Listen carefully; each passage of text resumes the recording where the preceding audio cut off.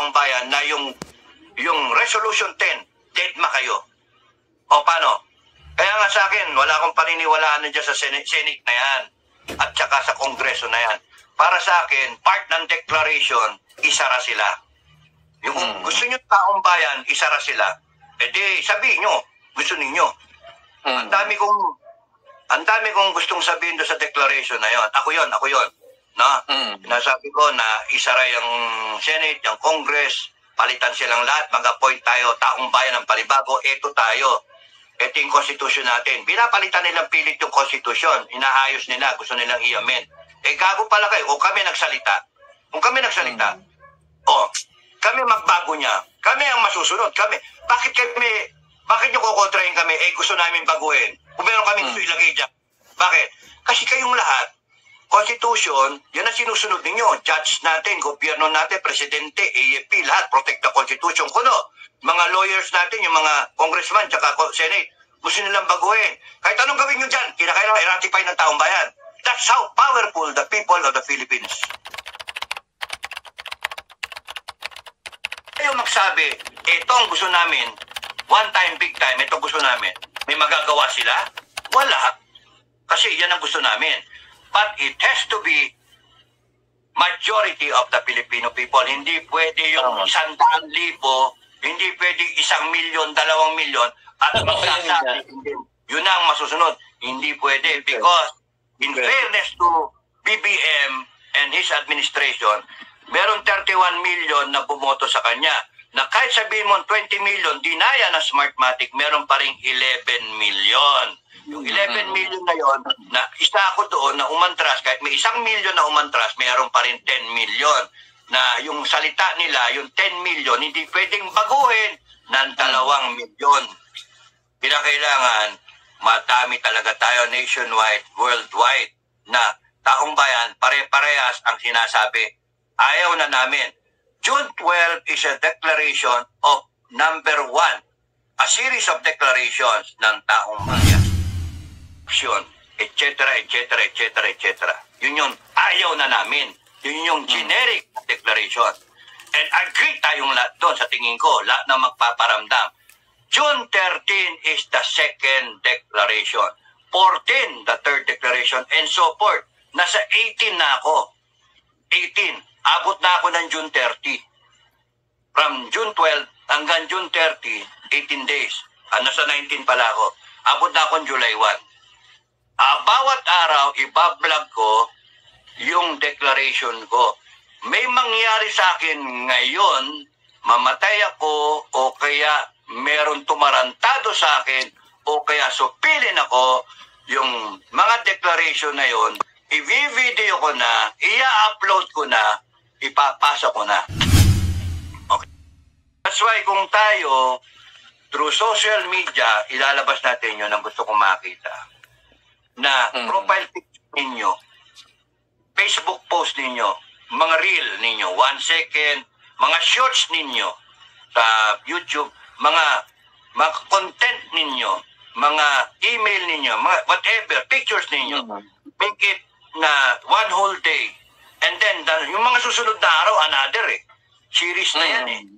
Oh, mapupuno yung SOCMED ng ng panay ano natin, yung boses natin.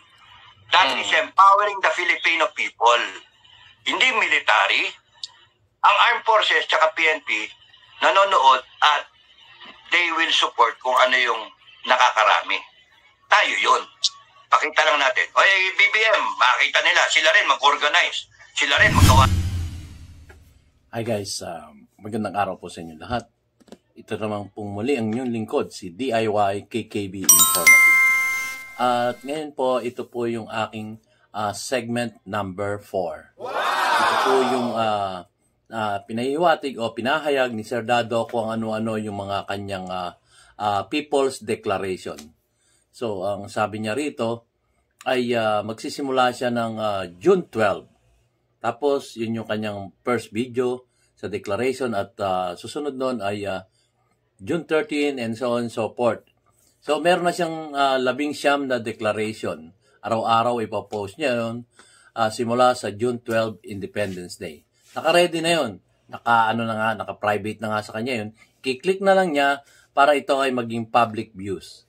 So, tunghayan natin guys kung ano tong mga declaration niya na tinutukoy sa kanyang ah, ah, sa kanyang ah, pagpapahayag dito sa interview ko kay ah, Sir Dado na si ah, Captain Clemente Enrique Jr. ng Scout Rangers. So, simulan na po natin. At bago po ako magpatuloy, ay ako po muna ay ah, magpapasalamat. Alam niyo naman, bago ako magpatuloy, ah, ini ah, aking ah, gini- ginigreet ang aking mga viewers. Salamat po. At ang aking mga subscribers. Salamat po.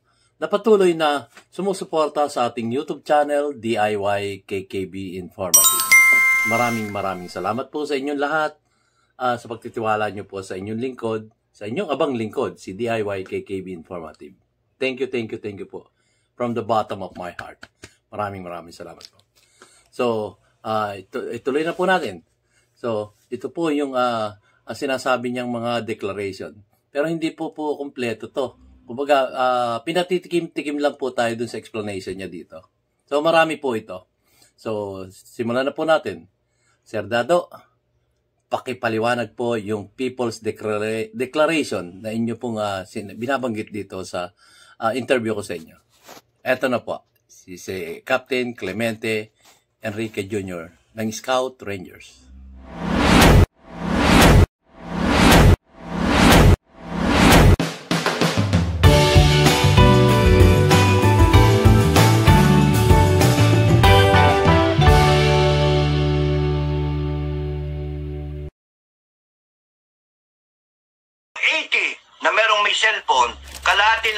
40. Magsalita. Kaya, kay Marcos, magsalita rin. Eh, majority wins. Then, nandun Mm. pa rin tayo sa diplomasya, nandun pa rin tayo sa sa rule-based na country na ni- nakikinig tayo. Pero kung kunyaring nakita at kayo, you mean, yung gusto nyong, teka, paguhin natin, mali ito, ninanakawan tayo ng tarantadong hinayupak na mga to, eh, mga Ah. walang yato.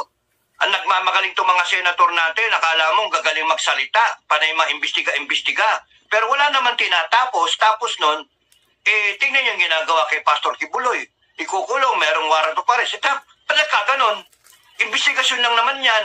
Eh, Ayaw matin ng tao, right niya yun. Ayaw niya kasi sinisira ninyo. Nakita ninyo. Doon pa lang sa testimonya ng mga witness na nakatakip yung muka, hindi mapakilala, ay sabihin yung pangalan, nag-accuse na nag-accuse o national TV. Ay kung ako si pastor, talaga ayoko magpakita dyan. Mumurahin ko pa kayo. Kung pumunta man ako dyan sa Senado, Santa Macal na mura ang aabutin ninyo. Eh, masama example yon sa aking congregation. Mga Mm. kagaguhan yung ano. Kaya, bakit yung kakasuhan? Kaya nga, ang punto ko, mali na yung ginagawa ng Senado. Tapos nun, akala nyong gagaling ninyo, pero interested kayo sa rights ng mga babae na yon na ni-rape. Kuno. Pero paano yung rights ng taong bayan na yung yung Resolution 10, deadma kayo? O paano? Kaya nga sa akin, wala akong paniniwalaan na dyan sa Senate, Senate na yan. At saka sa Kongreso na yan. Para sa akin, part ng declaration, isara sila. Yung Hmm. gusto nyo taong bayan, isara sila. E di, sabihin nyo, gusto ninyo. Mm. Ang dami kong ang dami kong gustong sabihin doon sa declaration na yon. Ako yon, ako yon. No? Mm. Nasabi ko na isara yung Senate, yung Congress, palitan silang lahat, mag-appoint tayo, taong bayan ng palibago, eto tayo. Ito yung constitution natin. Pinapalitan nilang pilit yung constitution. Inaayos nila, gusto nilang i-amend.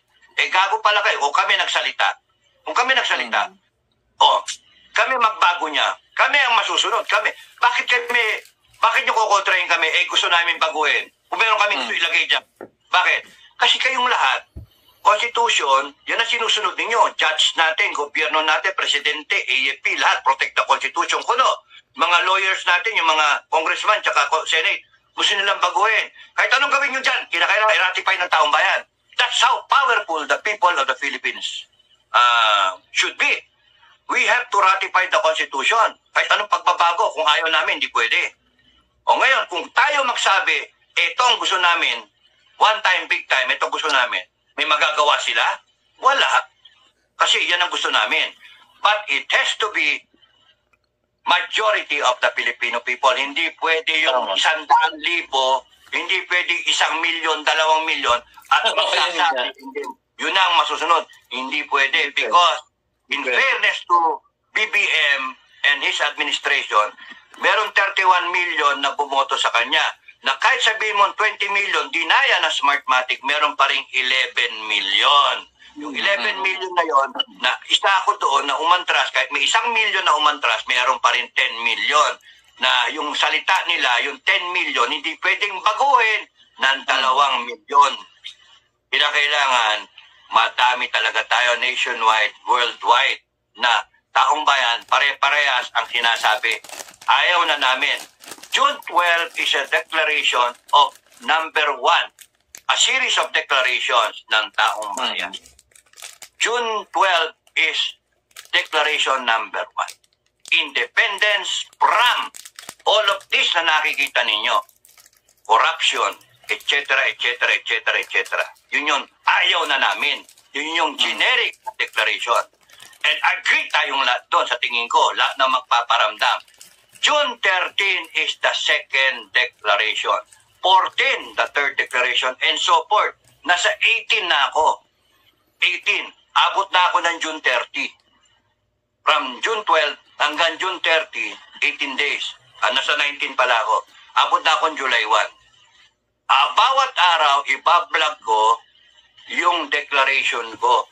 May mangyari sa akin ngayon, mamatay ako o kaya meron tumarantado sa akin o kaya supilin ako yung mga declaration na yon, i-video ko na, i-upload ko na, ipapasa ko na. Okay, yun yun. So, Ah, ibig sabihin, ibig sabihin may mga videos ka na na naka-reserva, naka, naka-private na. Kiklik mo Ah. na lang for public. click na lang yun. Okay. Wala man ako, may magkiklik para sa akin. Hmm. Magkiklik para sa akin. Okay? So, Pero hindi, mag-ano pa tayo eh. Mag, ah, the Department of Agriculture pa tayo eh. Kasama yon Kasama yon ah, yung kasama isang yan. declaration, ito, para nasa vlog ko yon pero Hmm. since uh, tinanong nyo, hindi ako nagbibiro, no? Teka, Hmm. ah, ilan ba yung nanonood sa'yo? Tingnan natin, baka ako nag-aalisan eh. O, nag-aalisan na iba. 84 na lang. So, Hmm. tingnan ninyo. Ah, nandun yung mandatory service. Oh, nandun yung declaration ng neutral tayo. Nandun yung price control ng sa farm gate price at saka sa retail. Kaya yung bigas, no? I-price control mo yan dun sa sa ano, sa farm gate price. Tinutulungan mo yung farmer. Tatanggalin natin yung ayuda, pero ang dapat lagyan natin ng subsidy yung sa sa mga farmer, no? Makokontrol natin yung presyo para yung presyo ng mga bigas na yan, ang mga gulay, lalo na yung, ano yung basic? Sibuyas at saka mga garlic. Hmm. Control yung presyo. Death penalty yung ano, death penalty, lalagay natin. Yun yung isang declaration, death penalty, Mhm. to end all corruption, whole of nation approach corruption. Saka nakakita, pagka, pagka ma-death penalty mo yung corruption, wala, sinong yari yan? Tapos magkakaroon na lang ng ano, ng by stages, no, yung leveling up ng parusa uh, from 1,000, 10,000, 3,000, 100,000, million, yan depende, no? So,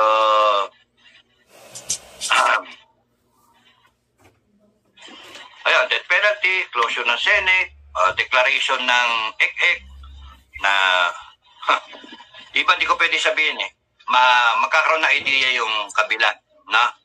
Oo. Sa ano na, ito, sa, sa susunod na, ano na, after nung June 12, di ba, declaration yan hanggang, hanggang ano ka na, 18? Ah, nasa 19 na ako. Tingnan mo ha. Rescind the Hmm. 2024 budget. Revert to the 2020X budget. Tingnan nyo ha. Tapos nun, may sinunod pa ako. Ah, neutrality, tapos yung mutual defense treaty, tanggalin natin. BFA, EDCA, tanggalin natin. Walang basis dito. That will ensure, kasi neutral tayo eh. Ba't ka magkaroon ng basis dito ng foreigner? Hindi, hindi pwede. Yun ang gusto namin eh. Ngayon, kung pipigil, pati Amerikano, ayaw sa akin yan, sigurado. Di ba? Mm. Pwede kong patira ng Amerikano. Eh, eh, sovereignty natin eh. Neutrality eh. Ang problema kasi dyan sa Mutual Defense Treaty, no? Ah, interest ng Amerikano ang pinupuntirya doon. Ang layo-layo nila. Tapos tayo, idedepensa natin sila na sa West, Western Pacific tayo. Mapagkiri Amerikano, yung bases nila dito, tayong lalaban para sa kanila. Ang mga animal, hindi naman sila lalaban eh. Ayaw naman nila lumaban. Pero tayo, kahit mamatay ang kalahati ng Pilipino, magpapangamatay tayo para sa kanila. Tama ba yon? Hindi tama yun. Maaring, maaring supportahan tayo, maaari lang ha, na sa sarili kong pagsusuri dyan, susuportahan tayo, halimbawa, yung mga baril-baril na yan, pero yung tao, Okay, manpower, wala. Accepted yung argument na yan, no? Accepted. Kahit yung armed forces mag-argue ng ganyan. Okay, sabihin ko Mm. sa inyo sagot. No, dalawa lang na salita. Dalawa. Mm. Ukraine, Israel. Tignan nyo. Okay. Ukraine, Israel. Tignan nyo. Yung mga allies niya kuno. O ano nangyari? Eh, yung giba-giba. Gusto nyo mangyari sa atin yon? Giba-giba tayo. Yeah. Tapos sa Yeah. bandang gitna, iiwanan yung Ukraine. Tapos iiwanan yung Israel. Pa bahala kayo sa buhay nyo. Kasi yung may difference ng policy, yung Democrats at saka yung yung Republicans nagtatalo-talo sila. O eh, paano ngayon yung gera? Nagsimula. Gusto nyo mangyari yung gera sa China and Philippines o kaya China, Taiwan, obligado tayo, tutulong tayo sa Taiwan. Eh kung Hmm. nag-declare tayo, neutral tayo, wala tayong pakialam sa lahat na yan eh. Maggirahan kayo, Yun. magpapagod kayo, wala kami pakialam. Magsosupply lang Yun. kami ng pagkain sa inyo kung gusto nyo. Gusto nyo gawing hospital ang Pilipinas, payag kami, pwede. Dalhin nyo dito yung mga wounded na na Russian o wounded na Chinese, yung wounded na American, yung babae lang, kaming gagamot. Huwag yun na lang. parang ano, merong, merong ano, merong ah, pangyayaring ganyan, parang Sweden ba yan? New Zealand, ano ba? Ano ba bansa yan? Switzerland. ganun, yun yung... Switzerland. Switzerland. Oh, Switzerland. Switzerland. Nagawa Ganun nila ng Switzerland, di ba? pumu- Brother, pumupunta German doon sa Switzerland. Hmm. Pumupunta yung British, tsaka Amerikano, allies, French. Nandun sila. Kapi-kapi ka Hmm. doon. Nandiyo sa kabila yung German. Wala kayong pakailaman. Neutral yung country. We Hmm. can be the neutral country in Asia. And then, Hmm. wala tayong pakialam. In check, pumasok ka. Amerikano, pumasok ka. Japanese, etc. etc. Magkape kayo dito. We will charge you na mura. Tourist pa rin kayo. You go to our Oo. beaches, mag-RNR kayo. Mag-RNR kayo. ng Boracay, gano'n. Oo. Pero pag kayo nagbanatan dito sa bansa namin, ikukulong ko kayong pareha sa isang kulungan na nakapatong yung mga nakapatong yung mga plank, no? Sa ilalim ng mga nakapatong sa ibabaw ng mga ng mga buhaya. Mga buhaya na sa ilalim. Tignan ko kung magpangayan kayo diyan, mahulog kayo doon, kainin kayo ng buhaya. Kami mga ano kami, anong tawag doon? Mga Jurassic kami. Paano yung kami mga third world country kami. Walang ya kami. Kago kami kaysa sa inyo. Pero wag nyo kaming gagaguhin. Nag-declare kami neutrality, ayaw namin ng gera, pumapayag kami, dito kayo magpagamot, dito kayo mag-R&R.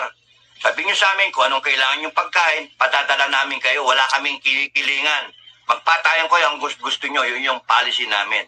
Ang ginawa ni BBM, inilay, inilay, inila, inilalapit tayo sa digmaan na hindi handa tayo. Kahit anong modernization ang gawin natin, hindi tayo handa. Oh, so kasama doon sa declaration ng neutrality na yun ang gusto kong mangyari at kasama doon sa pagsara ng Senado at ng Kongreso na makakatipid tayo kasi i-reorganize natin. Wala akong maasahan sa kanila. Wala kayong maasahan sa kanila kasi resolution 10 ang tagal-tagal na walang ginagawa. Paano yung mga kawatan? Paano yung mga nakinabang sila? So, sarado kayo. Palangya kayo. Inabuso nyo kami. Betrayal of public trust. Kayong rereklamo sa amin, eto kami oh, eto kami, constitution muna. Eto kayo silalim ng presidente. Yun. Oh, ano yun? Paano? Lalabang kayo. Eh kaya kasi sinasabi ko sa mga vlog, protect the Filipino people in that order, in this order. Armed Forces PNP. Protect the Filipino people, protect the Constitution, protect the government, which is BBM. Protect the government. As long as the government is functioning to protect the people as servants of the people. Pero kung merong dysfunctional behavior ang government as you are seeing now, ang dami, ang dami. Kita nyo kung gaano sila kayayabang, kung gaano sila magsasalita, akala nyo sila ang boss eh. baliktad. Explain ko sa inyo ha. Kung tayo ang board of directors, nag-elect ng presidente, kung nasa private sector tayo, na meron naman akong karanasan, kung nasa private sector tayo, saan makakakita ng board of directors ng isang kumpanya, malit man o malaki, na yung nilagay mong presidente, eh nagdudurog, kuno. Hindi ko kailangan ng ebidensya. Ang board, a-action kagad na patatawag yung presidente na nilagay natin, niluklok natin. Sampo yung naging kandidato, nagkataon yung isa tanga eh. Tatanga-tanga eh. Yung babae, oh. Nagkataon yung iba, kulang sa pera, kulang sa sa pondo para maka ano, eh nagkataon yung isa, anak ng isa pang dating presidenteng kilala natin na tayo rin ang nagluklok. Oh. Mm. Eh ngayon, nung nilagay natin ito, ang daming salita, ah, ipagpapatuloy ko yung dating presidente si Digong. Eh na-retire si Digong, yung presidente na yon na satisfied naman tayo bilang board of directors. Meron tayong pagba... Eh nung sinabi sa atin nung interview, nung election time, naga, ipagpapatuloy niya, yung Amerikano wala yan. Yung ICC, bisita, bisita lang yan, turista lang yan. Yung kanin, 20 pesos lang.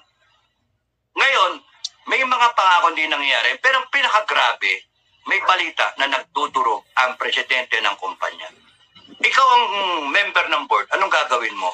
I-retain mo yung gago? Hindi. Patatawag ko, eh naging experience ko naman maging ano, maging ah, member ng board. Patatawag ko yan, sisitahin ko. Tarantado ka, wag ka asta na mag- marunong ka pa sa amin, gago ka. Kami naglagay sa'yo. Mag-asta kang gago ka, hindi mo, iistabin mo kami. Pinag-explain ka namin. Pinapadrag test ka namin, ayaw mo. Gago ka pala eh. Tapos nagkataon, aba, pati itong iyong mga vice president na matarantado, yung itong mga ano, head ng mga, hindi yung vice president na siya, yun na nga matino mo eh. Number one performer yung vice president mo, yung babae. Oo. Pero itong mga head ng finance mo, yung may yung nagbabudget sa kumpanya, abay tarantado, waldas ng waldas ng pera. Kaliwa Mm. kanan. Itong palitan pa yung handbook ng kumpanya, yung konstitusyon. Gustong palitan na hindi natin alam as board tayo. Tapos gasto sila ng gastos ng. Pera ng kumpanya. Tapos may nagwawaldas pa, dinodoktor yung PCSO. Tarantadong mga to. Anong gagawin mo? Tatawanan natin? Sa akin, kung tayo yung board, patatawag ko lahat yan, sesanti kayong lahat sa akin. Eh, ba't di natin ginagawa? Pa, pinapaubaya, hinahayaan natin na ganyan-ganyan tayo, daming vlogger, ah, eh, no na, no na. Pero wala. Ang gusto kong madinig, eh may magsabi naman, ano ang solusyon? Nagsasalita ako ngayon, ano yung solusyon? Ano sasabihin ng comment ng ibang Pilipino? Sir, paki-explica. sir, sir, eh, bakit milyon-milyon na kailangan? Eh, gago pala kayo. Saan kayo nakakita ng kumpanya na yung Jollibee, kikilos na babaguhin yung babaguhin yung sistema na hindi tatanungin yung kanyang mga shareholders. Kaya nga Hmm. nagkakaroon ng shareholders meeting, ipoproxy po pa nga kahit one share ka lang, may karapatan kang magsalita sa kumpanya mo kasi binili mo yung shares. May karapatan ka, one share, two shares, ten shares, 100 shares, binili mo kunyari sa stock market.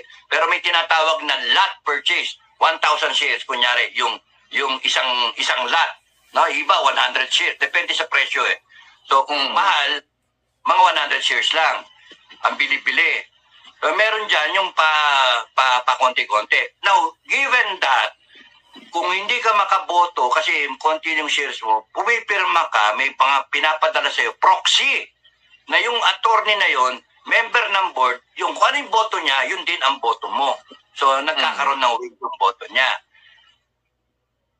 Tayo, ginagawa natin, nagbobotahan tayo rin every three years. Naglalagay tayo ng mga tao, niluluklok natin. Ngayon, may tinatawag tayong term ng office, three years yung, every three years, presidential nga, and then midterm.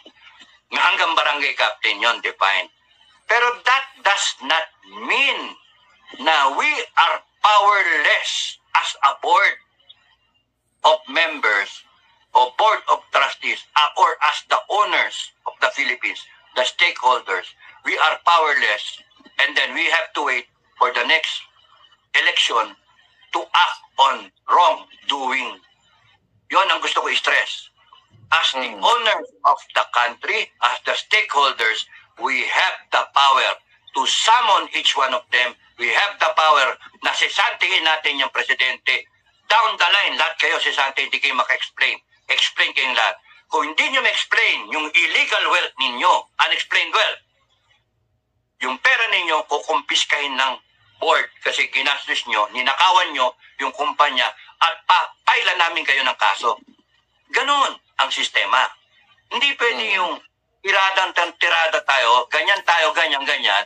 Eh di nga tayo maka-organize ng walang ya, yung board natin watak-watak. Ang kailangan natin, direksyon. Kailangan direksyon. Isang one single purpose. Ituwid natin ang Pilipinas. Ayusin natin. Kasi mapapangkarote tayo. Kung Hmm. tayo magsasalita lang yung 2 million, makikinig na tayo, sweet talk, ga- ganyan, palit lang tayo. And then the same putragis na mga opisyal na magnanakaw, eh nandyan pa rin. Maghihintay lang yan na opportunity. A typical example, laglag bala, tanim bala. Nawala yung Hmm. presidente. Digong, ayun, bumalik na naman, nagkaroon ng tangang presidente. Ayan, laglag bala. Kaya-kaya lang eh, di ba? Kaya nga, Kaya, may mali. Ang laki na mali. Ngayon, taong bayan, dapat tayo ituwid natin. Kaya nga, pagka nagbablog ako, sinasabi ko, huwag niyong gagaguhin ang armed forces. Huwag niyong papangunahan ng armed forces. Huwag din sinasabi kung ano-ano, mga mga bayaran din yung armed forces. No, nanonood sila. Pinapanood nila tayo. Sila, sabi ko nga, protect the people, protect the constitution, protect the government. Yun yung kanila, in that order. Ngayon, pagka nakita nila yung taong bayan ang nagsalita isang milyon, ano sa tingin yung gagawin ng armed forces? kikilis Ang yun. ang nagsasalita lang, eh, dalawang member ng 15-man board, 115 million Filipinos. Dalawa lang yung nagsasalita, dalawang milyon eh. Tama? Ang kinakailangan makita ng armed forces, majority of the board may posisyon. Hmm. Yun yung sinasabi ko. Magkaroon tayo ng declaration. 1, 2, 3, 4, 5. Nasa 19 na ako ngayon. Gusto ko i-explica, pero hindi pa tama at angkop yung oras. Hmm. Hanggang June 12 muna, yun yung unang-unang deklarasyon. But starting mga May 15, panoorin nyo na kami ni Luke Soliben, ang DIY KKB, because isa sa kanya ako ipapasa. Araw-araw, magkaano ako ng declaration. And Hmm. then, walang pigil yon I-test to. Iba-iba vlog yun, pick upin nyo, mag-declare kayo. But anyway, yung June 12, yun yung generic. Pagka sa gamot, Hmm. yun yung gamot para sa patayin yung ugat. No? Tuma- tatawag ako ng whole of nation approach against corruption. Yung corruption ng ugat ng lahat. Yung pagnanakaw na yan. Kasi pagka tinanggal mo yung corruption, anong rason ng politikong nakawan tayo? Anong rason ng mga putragis na mga laglagbala na yan?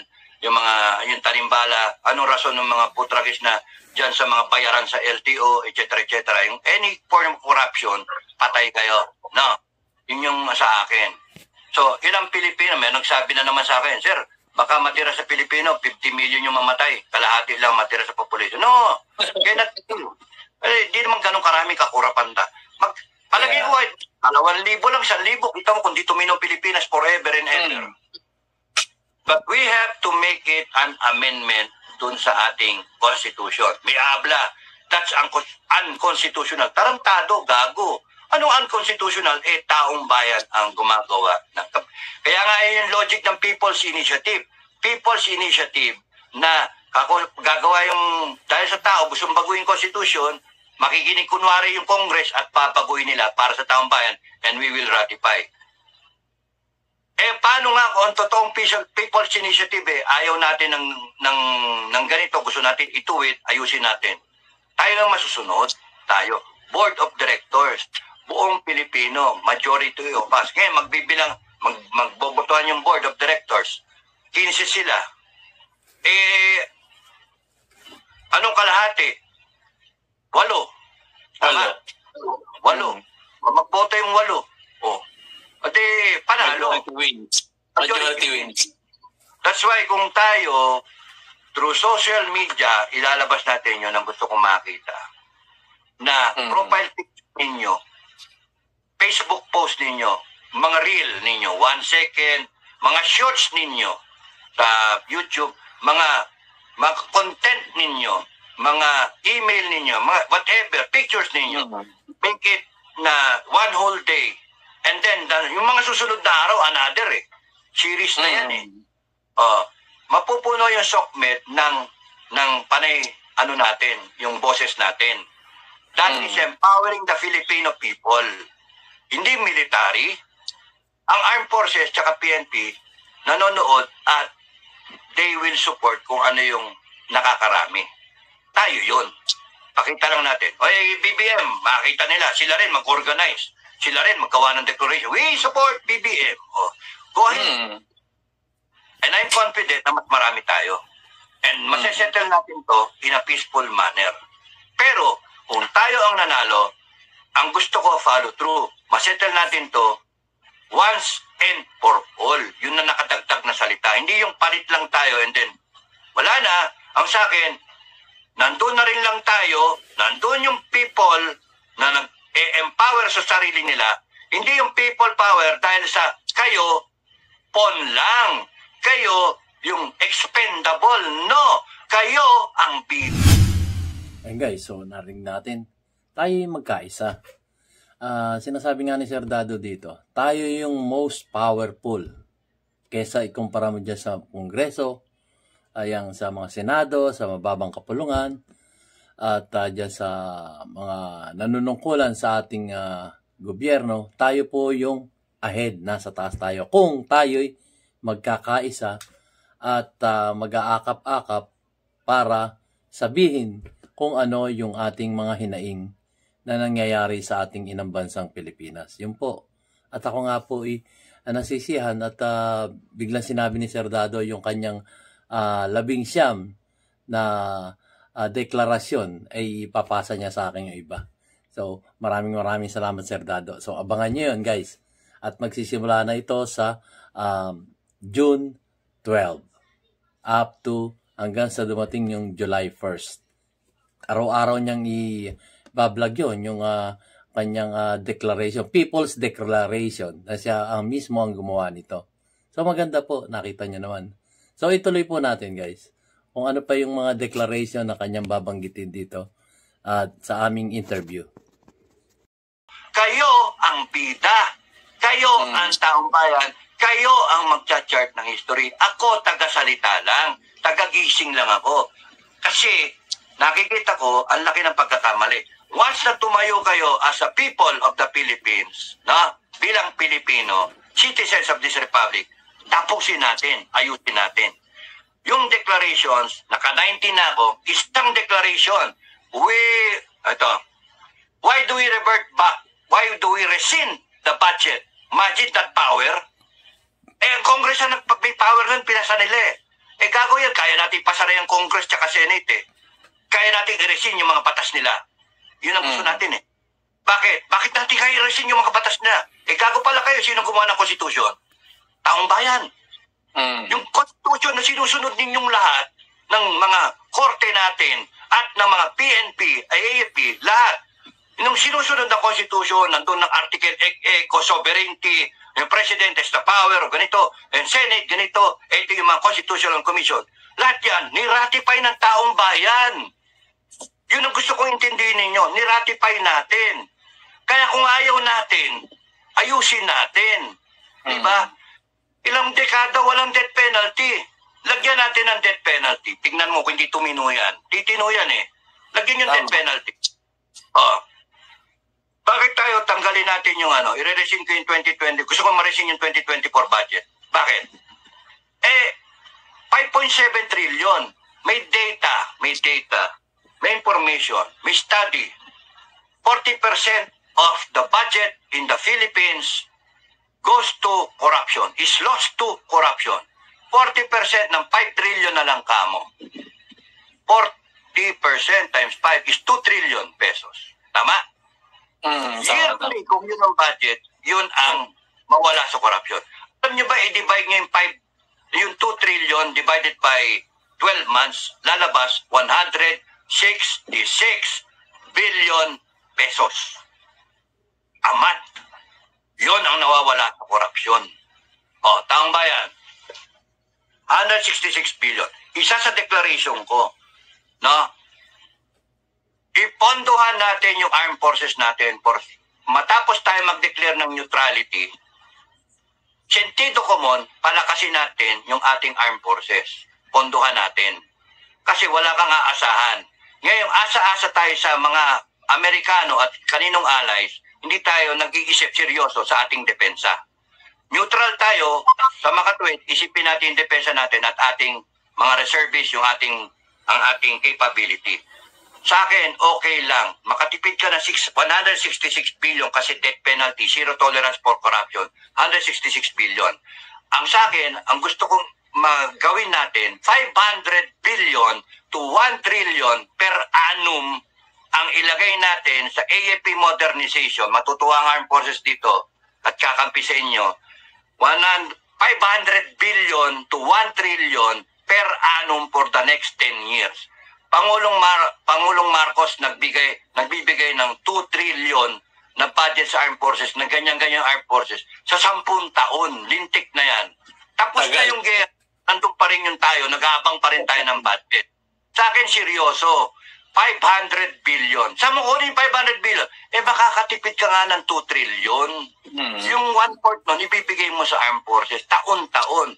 Zero tolerance tayo. mag implement ng ano na yan, AFP, PNP, i-modernize natin para tayo makaprepare. Provided that, may provided ako, provided that yung yung ating ah, modernization will be focused on on attaining a self-reliant defensive industry.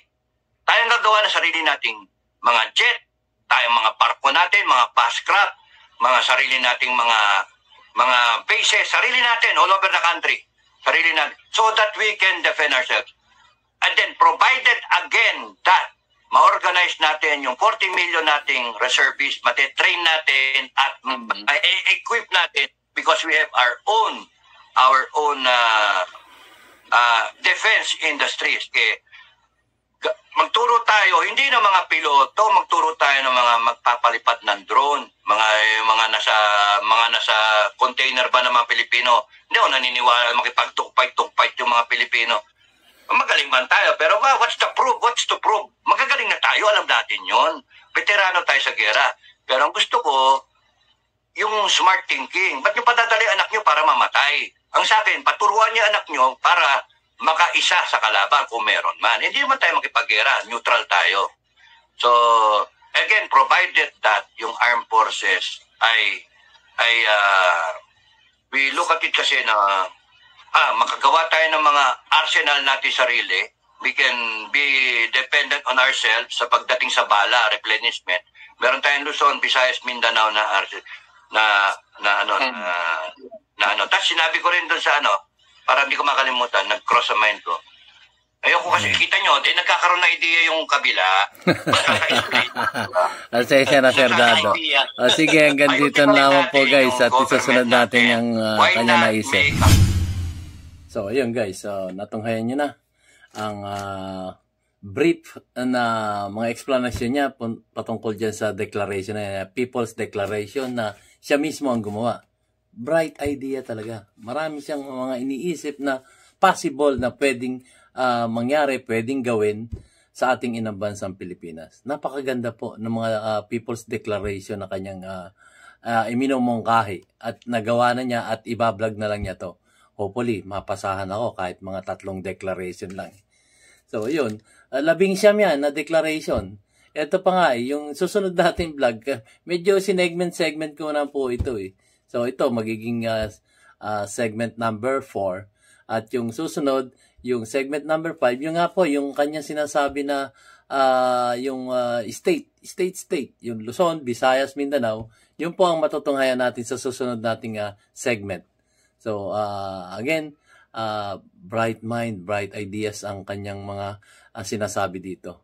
meron siyang ah, nakikitang mga problema at kaakibat nun ay susuriin niya at bibigyan niya ng proper solution na kanyang ah, naiisip dahil ah, ito po ay tu- tunay nagmamahal sa ating inang bansang Pilipinas. Yun po, kung matutunghan nyo, read between the lines. Yun po mga sinasabi niya. At marami kayong matutunan.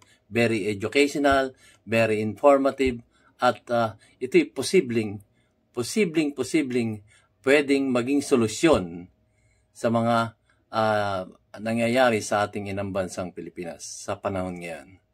So, sabi nga niya, eh, sa June 12, eh, yung sinasabi niyang ah, ah, statement na pwede tayong, hindi na tayo kailangan pupunta sa kalsada. Dito na lang tayo sa SOCMED, dito sa social media. Ipahayag natin kung ano ang ating damdamin para na sa ganun, ay marinig naman tayo ng bawat isa sa ating mamayang Pilipino.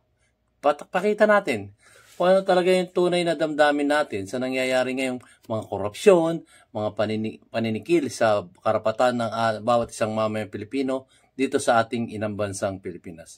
Bright mind, bright ideas. Ito po si ah, Captain Clemente Enrique ng Scout Rangers. Saludo po ako, Pinoy Survivor. Maraming maraming salamat po. So hanggang dito lamang po. Susunod ko na lang yung ne- next segment ko at mahaba po kasi ito. Promise talagang lima at kalahating oras. Pero kung kayo nainip, ah, puntahan niyo yung live interview ko kay ah, Sir Dado. At yun po ay, ang oras po nun ay limang oras at kalahati. So, maraming maraming salamat po sa aking mga viewers at lalong-lalo na sa aking mga subscribers na patuloy na sumusuporta sa ating YouTube channel DIY KKB Informative. Maraming maraming salamat po sa inyong lahat. In the bottom of my heart, sa kaibuturan ng aking puso, ako po'y lubos na nagpapasalamat sa inyong lahat. So, maraming maraming salamat po muli. See you on my next vlog. Yung pong ah, tatapik natin yung ah, states, Luzon, Visayas, Mindanao. Kasama sa kanyang ah, People's Declaration. Brilliant mind, brilliant ideas, ah, proper solutions. Ito po si Sir Dado, Captain Clemente Enrique Jr. ng Scout Rangers. See you on my next vlog, guys.